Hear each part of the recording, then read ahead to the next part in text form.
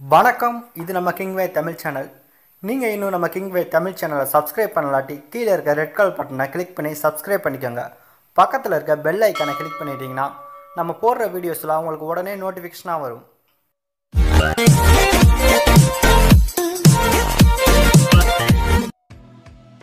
விஸ்வாசம் படத்துக்கு அப்புறமா தல அஜித் அவர்கள் நடிச்சு வெளியான படம் தான் நேர்கொண்ட பார்வை. இந்த படம் வெளிவந்து ரசிகர் மத்தியில நல்ல ஒரு வரவேற்பை பெற்றிருந்துச்சு. மேலும் இந்த படம் ஹிட் அடிச்சிருக்கு அப்படின்னு சொல்லலாம். மேலும் தல அஜித் அவர்களுடைய அடுத்த படத்துக்கான அப்டேட்டுகளும் ஒரு பக்கம் தொடர்ந்து வெளிவந்துட்டு இருக்கு. இந்த மாசம் இறுதியில அதாவது குறிப்பா இருபத்தி ஒன்பதாம் தேதி பாத்தீங்கன்னா தலா சிக்ஸ்டி படத்துக்கான பூஜையை ஆரம்பிக்க இருக்காங்க அப்படின்ற மாதிரி ஒரு அப்டேட் வெளிவந்திருக்கு.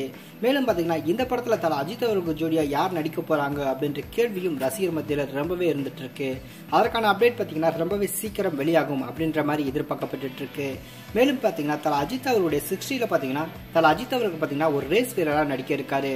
கார் பைக் அப்படின்ட்டு ரொம்பவே சேசிங் சீன்லாம் ரொம்பவே அதிகப்படுத்தி இந்த படத்தில் எடுக்க இருக்காங்க அப்படின்ற மாதிரி ஒரு அப்டேட்டை ஏற்கனவே இந்த படத்தோட தயாரிப்பாளரான போனி கபூரும் இந்த படத்தோட இயக்குனருமான ஹெச் வினோத்தும் வெளியிட்டிருந்தாங்க.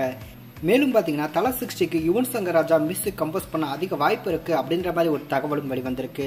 அதே வேளையில் பார்த்தீங்கன்னா தலா அஜித் அவர்களுக்கு வில்லனா பார்த்தீங்கன்னா அருண் விஜய் நடிக்க இருக்காரு அப்படின்ற மாதிரி ஒரு தகவல் வெளிவந்திருக்கு. தற்போது பார்த்தீங்கன்னா தலா சிக்ஸ்டி படக்குழு பார்த்தீங்கன்னா அருண் விஜய்கிட்ட தொடர்ந்து பேச்சுவார்த்தை நடத்தியிருக்காங்க அப்படின்ற மாதிரியும் அருண் விஜய் பார்த்தீங்கன்னா நடிக்க தயார் நிலையில இருக்காரு அப்படின்ற மாதிரி ஒரு தகவல் வெளிவந்திருக்கு.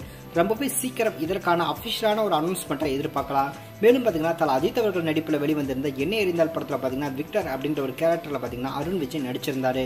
அந்த ஒரு கேரக்டர் பார்த்தீங்கன்னா அருண் விஜய் கம் பேக் அப்படின்னு சொல்லலாம். அந்த அளவுக்கு ரொம்பவே மாசா ஸ்கோர் பண்ணியிருந்தாரு அருண் விஜய்.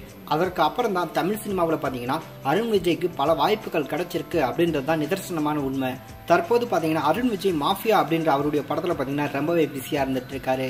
ரொம்பவே சீக்கிரம் பார்த்தீங்கன்னா தலை சிக்ஸ்டியில் வந்து அவர் கமிட் ஆவார் அப்படின்ற மாதிரி எதிர்பார்க்கலாம். மேலும் பார்த்தீங்கன்னா தலை சிக்ஸ்டியில் பார்த்தீங்கன்னா போனி கபூர் அவங்களுடைய மகள் ஜான்வி கபூர் பார்த்தீங்கன்னா ஒரு முக்கியமான ரோலில் ப்ளே பண்ண இருக்காங்க அப்படின்ற மாதிரி தகவலும் மேலும் பார்த்தீங்கன்னா இதன் மூலம் பார்த்தீங்கன்னா தமிழ் சினிமாவுக்கு அவங்க அறிமுகமாகறாங்க அப்படின்ற மாதிரி ஒரு தகவலும் ஏற்கனவே வெளிவந்துருந்துச்சு.